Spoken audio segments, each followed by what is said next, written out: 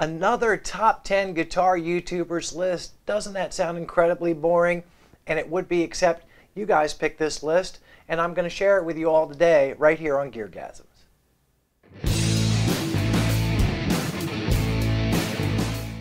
Hi everybody, welcome to Geargasms. I'm your host Alan Barnes. If you're new to the channel, please like and subscribe. It's mostly dirtball, low level kind of content, but every once in a while I come up with something decent and today, I think I've come up with something decent because the last time I did a guitar top 10 YouTubers list, you guys had some really, really interesting comments for your favorite guitar channels, ones that didn't make my list in particular. And I gotta say, I agree with almost all of your choices, and in fact, I watched most of those channels as well. They just weren't high enough on my list to make the top 10 so I thought it's only fair to let you guys pick some and also give these other channels some shout outs.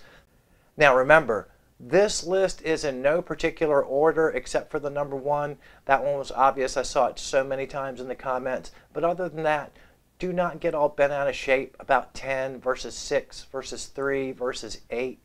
It's all good. Number 10 on our list comes from my buddy George Suarez. He says, Hey, Alan, I love the list except for Glenn Fricker. Poor Glenn. I would add Philip McKnight in the blues, that pedal show, and I'd have to also add Andertons. I can only pick one amigo, and it's going to be in the blues. I like quirky things, and in the blues is kind of quirky in that the guy pretty much focuses on blues, but he's Australian. That's kind of weird. If that wasn't weird enough, He's also left-handed. Always good to see somebody with a physical disability get a chance to do something cool. And I'm sure all those other left-handed guitar players out there with that same physical disability really get into what he does. It makes it super easy to learn what he's doing because guess what? His neck's going in the same damn direction yours is. I kid all of you lefties. Settle down. In the blues, number 10 on our list. Number nine on our list of the best guitar YouTube channels picked by you. Gavin Decker says, My top five are Stevie T, Spectre Sound Studios, Music is Win, Trogly's Guitar Show, and Ola Englund. I myself watch all those channels as well, but for this list, number nine is Music is Win. Tyler Larson. I actually met him a couple of years ago at Experience PRS super super nice guy. I really respect the fact that he's taken a channel from ground zero and made it something successful for him. He, he definitely relates i think to a little bit of a younger crowd in terms of teaching people things but he also relates a little bit to us older guys with his immaculate taste in gear specifically paul reed smith guitars. Tyler is one of those channels. He's got a really dry sense of humor. Sometimes you're not quite sure how to take him but the fact that he combined some gear stuff, but more with lots of lessons and lots of learnings and all kinds of great fun videos like top 10 songs not to play in Guitar Store and some of those little sketch type videos that he does. Super, super versatile and talented.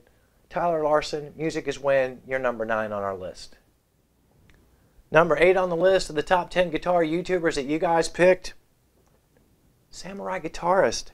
Luis Martinez says, You missed Samurai Guitarist on your list. And yeah, it's easy to forget about Samurai Guitarist, but he's built up a great following. He does some teaching, he does some gear reviews. His channel is, is very versatile. There's all kinds of different content you get there. He has a really dry, deadpan, almost monotone delivery, which somehow works for him. I don't know how he does it. Maybe it's a samurai man bun. Maybe it's just that hook that he has. He does one of the favorite things that he does that I like are the where he does a list of really weird guitar gadgets and he'll pull them in and review them. It's always a hoot. Samurai Guitarist your number eight on the list. Number seven on our list of the top 10 guitar YouTubers, and this is another one of my favorites. Paul M says, great list. Some of my faves are not on there. Ben Eller, excellent technique tutorials. I'll stop right there. Yes, yes, and yes. Ben is a lot of fun. He's quietly funny. I love his band Skank Banger. I love the fact that he's very accessible in his lessons. He's not a stickler for this, that, and the other. He pretty much tell you, you know, play what works for you, make it sound good. If it sounds good, it is good. He calls himself Uncle Ben. I don't know how much longer he's going to be able to do that, but he's still a super chill dude. His content is always very informative. I never fail to learn something from him, even with a song that I think I already know. If Ben Eller goes over it, I almost always come away with a lot more knowledge. Ben Eller, you're number seven on our list. All right, number six on our list of the top 10 guitar YouTubers that you guys picked. Pharaoid77 says a good list. For myself, I would add Phil McKnight, Shane in the Blues. He's biased because he's one of those lefties. Sorry. We'll stop right there because it's Phil McKnight. Know your gear. If you're going to call your channel Know Your Gear, you better back it up, and back it up he does. I almost never fail to learn something from him, especially when he's doing stuff about guitar setups, whether it's fret dressing or rewiring some pickups. He's very, very good at calmly teaching you how to do things. He's very thorough. He seems like a genuinely nice human being. Really, really savvy person when it comes to marketing his merch. Putting the people in the videos with the Know Your Gear t-shirts on was a brilliant idea. Phil McKnight, you're a great guy. You deserve to be on this list. You're number six. Number five on our list of the top 10 guitar YouTubers that you guys picked, Fred Krueger. Love the screen name. Says Leon Todd for Axe-Fx stuff. Yes, Leon Todd. He's another brother from down under, down there in Australia. And yes, if you're into the Axe-Fx, he is the man. I'm not into the Axe-Fx, but I watch Leon all the time. Why? Because he's a tremendous player. His vibrato is insanely good. He has great tasting gear. He'll show you licks. He'll show you tricks. A really super chill guy. I think he's a great example of the new breed of guitar YouTubers. Leon Todd, you're number five on our list.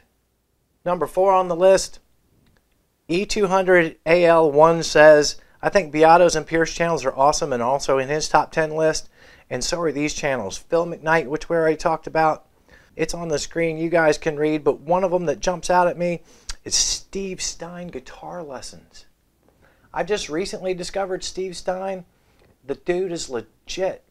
Especially when you want to have short lesson videos that focus on a single technique or a single lick or a certain particular style. The dude has got it going on. He's got the legitimate hair so you know he's for reals. Again, I'm new to his channel, but for the last few weeks, I have been working really closely with some of his lessons videos. Steve Stine, you're number four on our list. Number three on the list, this one comes from Donnie Rocket's karting channel. One of the things he said here is, and it really jumps out at me, it's Darrell Braun. Now, he almost made the last list. Darrell Braun's from Canada. He's a super, super chill dude. Seems like a really nice guy. He has great tasting gear. I always learn something from Darrell's videos. They are so well shot, so well put together. He just has a natural presence on camera that's soothing, and I envy that. And Darrell Braun, my Canadian friend, you're number three on the list.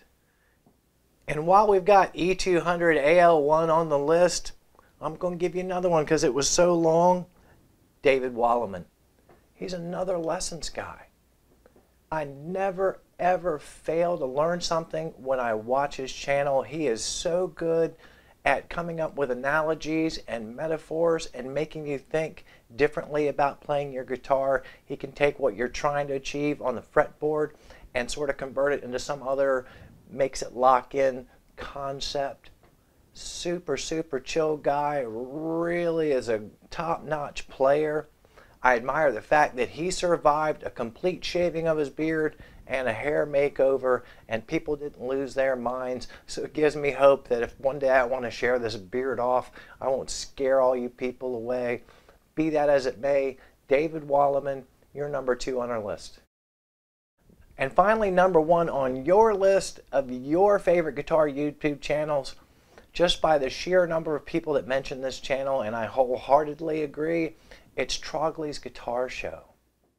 Tom Badley says, good list. I also dig some of the hardware channels too, like Trogly's Guitar Show. Billy C says, sentence a list of guitar content channels, I'll go with Trogly's. I love learning about guitars. I don't play them, but I love them. That's crazy. And what an endorsement of the troglodyte. Now it's funny, I used to watch Trogly, you know, earlier on in his video career, and I just couldn't get past his vocal delivery. It sounded like Fred Rogers and Emo Philips had a baby together. It's funny when you hear somebody's voice, if you're a man, you could probably relate. You hear another man's voice, sight unseen, and one of the thoughts that may or may not pop into your head is like, yeah, I could probably take that guy. I could probably whoop his ass based just on the sound of his voice without ever having seen him. Now, if you made that mistake after hearing Mike Tyson's voice, you know that that doesn't always come to play. But when we finally got to see Trogly, God bless him, he seems like such a gentle dude wouldn't hurt a fly. He's really, really knowledgeable about guitars. I love he takes things apart. He lets us see the guts. His camera work is astounding. His volume of output, daily videos, that's off the charts. Besides that, he's made a really cool and I think somewhat lucrative business of taking guitars, buying them, opening them up, gutting them, setting them up, and then moving them on. Trogly's Guitar Show, according to my viewers, you are number one on this list. Well, did you have fun? Did you like the list? Are you upset? Are you tickled that you got to see your name on the TV screen? I really enjoy those comments when I do these kind of videos. I almost always learn something. You guys have great taste. Don't forget to like and subscribe to this here Geargasms. You can buy a t-shirt if you wanna. If you don't wanna, ain't mad at you. Whatever you do in the next seven days, don't tell David Coverdale about it because he's just going to put undue pressure on you to come to his Botox party. And you know the deal with those. You go, you get drunk, you eat some canapes, somebody injects some really low grade Botox into your forehead. You think you're getting a discount, but the host of the party gets it for free, and I'm not down with that. Play more guitar, watch less YouTube, and keep coming back here week after week. I beg of you for more Geargasms.